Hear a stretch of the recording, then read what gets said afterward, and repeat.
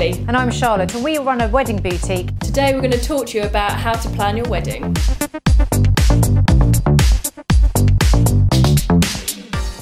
Planning a Caribbean wedding, first you need to decide if it's a Caribbean themed wedding or you're actually getting married in the Caribbean. If you're getting married in the Caribbean, you can get some really gorgeous luxury holidays and they tend to sort out everything that you need to do. You just need to worry about what you're going to wear, who you're going to invite um, and organise the flights and how you're going to get everything there. This dress is perfect if you're going to be getting married in the Caribbean because you have to remember it is going to be hot.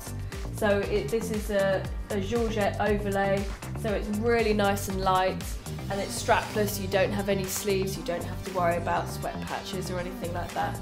So again, you really have to consider a light dress and also you are going to be taking it with you on the plane. So again, travelling with the dress, etc. And the same for your bridesmaids and your guests as well. Inform them if you are actually going to be having the ceremony on a beach, maybe they maybe you suggest that they don't wear ties or suit jackets because it will be boiling. And don't forget to pack the suntan lotion. Exactly.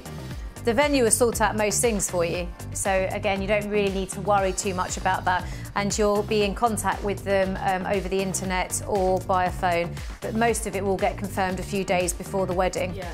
The other Caribbean wedding you can have is the style of the Caribbean wedding. So rather than getting married in the Caribbean, it's about everything sort of encompassing the Caribbean theme. So steel band, jerk chicken, vibrance, energetic, yeah, carnival festival, sort of feel. Yeah. So you probably wouldn't wear a dress like this. You would sort of go more sort of over the top, um, opulent sort of style of dress, I would think.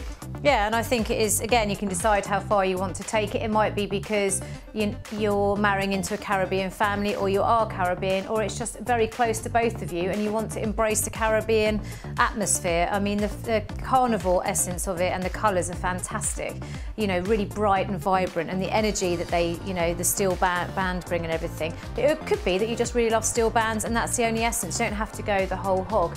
I think it's all about picking and choosing. It's all about working out how much of it you want to embrace the Caribbean theme of the wedding, really. And that's how you plan a Caribbean wedding.